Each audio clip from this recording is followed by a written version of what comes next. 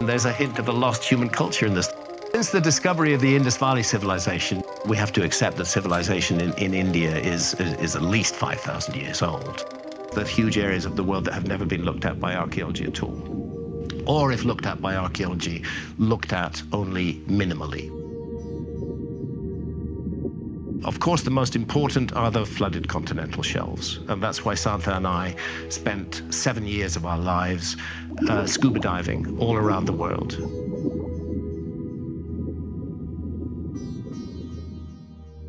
Nestled at the westernmost edge of the Saurashtra Peninsula in what is now the state of Gujarat, India, the ancient city of Dwarka offers a narrative that is as rich in spirituality and mythology as it is in historical urban development.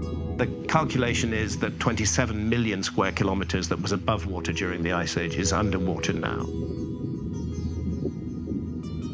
The city's strategic positioning near the confluence of the Gomati River and the Arabian Sea played a pivotal role not just in safeguarding it from potential invaders, but also in bolstering maritime trade and fostering connections with other parts of the ancient world. This geographical advantage, coupled with the city being enveloped by water on all sides, either as a peninsula or a series of islands, crafted a natural fortress that was a challenge for any adversary to overcome. Most of human civilization has been organized around water, right? And as the water levels change, some of those ancient cities could be completely covered. We did a lot of diving in southern India, so it was, it was great for her to be able to talk in their own language to Tamil fishermen and Tamil divers and see if they'd seen any weird stuff underwater, which they certainly had. Moreover, the Gomati River's proximity not only enhanced the city's scenic beauty, but also served as a crucial lifeline for its residents. Dwarka's urban landscape, as depicted in ancient texts, was nothing short of architectural grandeur. The city boasted of meticulously planned streets, a state-of-the-art drainage system, and formidable fortifications, all of which were divided into well-defined sectors for residential, commercial, and administrative purposes. We know that it's been underwater for about six or 7,000 years, but the question is how long before that was it made? How long did it stand there above water? This level of urban planning and civil engineering sophistication showcases an advanced understanding of city management and infrastructure development, making Dwarka a marvel in ancient urban planning. The city's defensive structures, including a series of gates and fortifications, underscored the thoughtful defensive strategy employed in its construction. These were not merely architectural feats, but were strategically designed to regulate access and provide unwavering protection against invasions. Such architectural and strategic prowess points to a high degree of sophistication and indicates that Dwarka was a city that blended beauty with brains, making it a formidable entity in the ancient world. You're coming across statues underwater, you're coming across columns underwater. It's just magical in diving, diving on an underwater city. Diving into the depths off the coast of modern-day Dwarka in Gujarat, India, archaeologists have embarked on marine explorations that have significantly advanced our understanding of the ancient city's grandeur and the sophisticated civilization that once flourished there.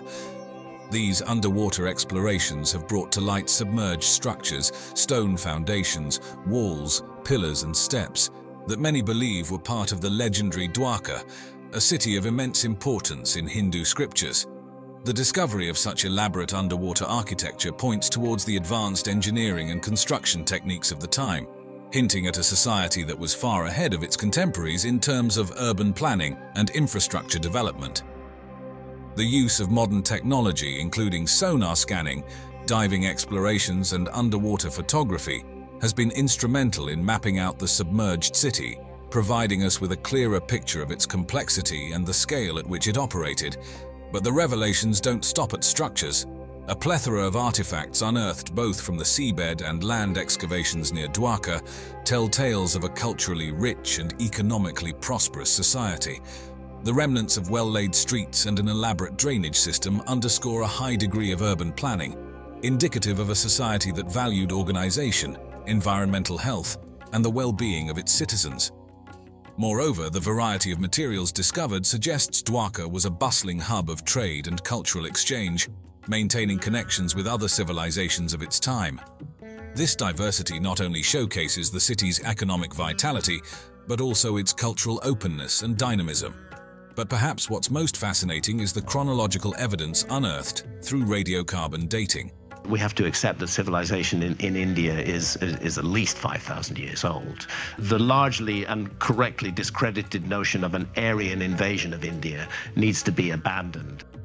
Some artifacts and structural components of the submerged city have been dated back to the second millennium BCE, aligning Dwarka's timeline with that of Lord Krishna, as described in traditional beliefs and ancient texts. This dating not only cements Dwarka's place as a significant cultural, religious, and economic center in the ancient world, but also bridges the gap between mythological narratives and historical reality. These archaeological findings offer a tangible framework to understand the evolution of urban settlements in ancient India, shedding light on societal structures, trade practices, and the cultural dynamics of the time. As we piece together clues from the past, Dwarka holds a special place in the tapestry of Hindu mythology and Indian ancient history, not just for its divine origins, but also for the mystery and majesty that encompass its story. At the heart of Dwarka's legend is its foundation by Lord Krishna, a pivotal figure in Hinduism revered across various traditions. The epic tales from the Mahabharata and the Bhagavata Purana tell us of Krishna's quest to protect his people from persistent threats, leading to the establishment of this city. It wasn't just a random choice. Krishna was strategic, opting for a location that offered natural defenses and prosperous living conditions for his subjects. Positioned on the western coast, Dwarka was a fortress against adversaries, thanks to its geographical advantages and access to vital sea routes that facilitated trade and communication. This city wasn't just a safe haven, it was a symbol of divine protection and ingenuity, blending spiritual significance with architectural splendor. The story of Dwarka, with its grand buildings and eventual mysterious submergence, captures the imagination, making it a subject of fascination and reverence. Dwarka, often hailed as the City of Gold in ancient scriptures, embodies not just the literal application of gold in its architecture, but also represents an era of unparalleled wealth, prosperity, and architectural ingenuity. This legendary city, with its palaces shimmering with gold and precious stones, grand public spaces and formidable fortifications, stands as a testament to the zenith of ancient urban development and prosperity. The city's opulence wasn't confined to its material wealth. It extended to its sophisticated design and layout, which were attributed to Vishwakarma, the divine architect in Hindu mythology. Commissioned by Lord Krishna, Vishwakarma's vision for Dwarka was nothing short of architectural brilliance, the planning of Dwarka was meticulously executed, with distinct zones for residential quarters, marketplaces, temples, and public buildings. This segregation ensured that the city functioned efficiently, with each area serving its purpose without encroaching on another. The residential quarters, designed for comfort and accessibility, were likely constructed with not just security in mind, but also aesthetics, ensuring that the city's inhabitants lived in an environment that was safe, beautiful, and harmonious with nature, but perhaps the most captivating tale of Dwarka is its mysterious submergence. The submergence of those sites is largely because of subsidence of land rather than sea level rise, because it's relatively recent. Legend has it that following Lord Krishna's departure from this world, the city met its end, swallowed by the sea.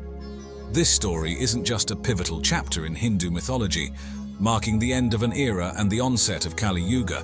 It has also piqued the interest of archaeologists and historians. Their underwater explorations near the modern city of Dwarka have unearthed submerged structures, offering a tangible link to the city's legendary past. These discoveries hint at the existence of a significant settlement that might have gradually succumbed to rising sea levels or other catastrophic events, giving some historical backbone to the mythological tales. The submergence of Dwarka is often seen through a symbolic lens, reflecting on the ephemeral nature of wealth and the inevitability of change. It reminds us that even the most splendid creations, no matter how grand or well built, are not immune to the forces of time and nature. This story, rich with historical intrigue and mythological depth, continues to enchant and provoke thought, bridging the ancient with the present and the mythical with the real. If you wish to pass information to a distant future, if you wish it to be preserved, uh, an example I often give is the Indus Valley civilization but there isn't a single Rosetta Stone that enables us to translate that script into any more recent language. Imagine thriving cities humming with trade, homes filled with families and a bustling marketplace. Now, in the blink of an eye, picture it all buried, not by volcanic ash like Pompeii, but by the sands of time. The Indus Valley Civilization, one of the world's oldest urban societies, harbored a flourishing culture along the banks of the Indus River. Then, mysteriously, they vanished, leaving behind enigmatic ruins and unanswered questions. Was their disappearance as sudden and calamitous as Pompeii's, or did a slower, more insidious fate seal their destiny? You might think archaeologists always know what they're looking for, but sometimes the most fascinating discoveries come from stumbling across the unexpected. That's the story of the Indus Valley Civilization. Back in the 1800s, explorers in India's northwest region noticed some mysterious ruins and old bricks around a place called Harappa. It didn't seem like a big deal at the time. They figured these were the remains of some relatively recent settlement. Imagine their surprise when the real age of the site was revealed. Decades went by with no major breakthroughs, but in the 1920s, a new Director General took over India's archaeological efforts, Sir John Marshall. This guy was determined, and he kicked off organized excavations at those mysterious Harappa ruins. Surprise, surprise, this wasn't anything recent. Marshall and his team unearthed the first solid evidence of an entire unknown civilization and another massive city called Mohenjo-Daro. Think meticulously planned streets, buildings with indoor plumbing, and even a complex drainage system that modern-day city planners could probably learn from. The discoveries were mind-blowing. Think massive granaries suggesting organized food storage, public baths that would rival a modern water park, and workshops indicating specialized crafts within the civilization. And those seals, the ones with an unfamiliar script and animal figures etched onto them hinted at trade, record-keeping, and maybe even early forms of writing. The more they dug, the more it seemed the Indus Valley civilization was far more advanced than anyone imagined. As time went on, even bigger sites like Lothal popped up, showing us how widespread their influence was. With artifacts turning up that looked suspiciously similar to ones from Mesopotamia, it became clear the people here weren't isolated. They had trade networks stretching for miles.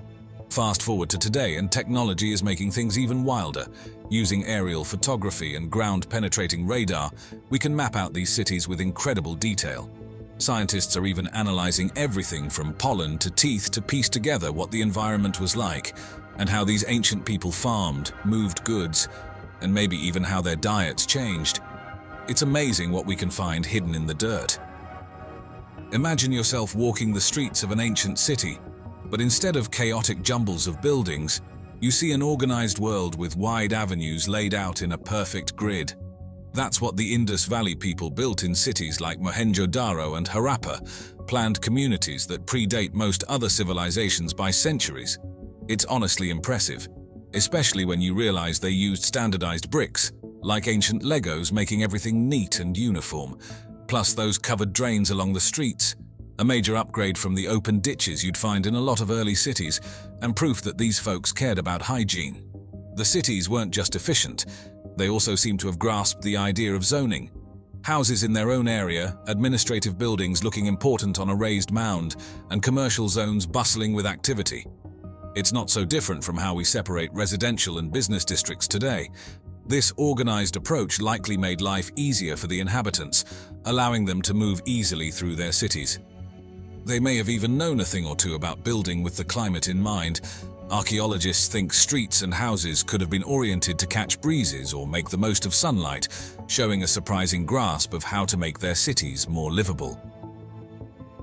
The Great Bath of Mohenjo-Daro is the ultimate symbol of their ingenuity.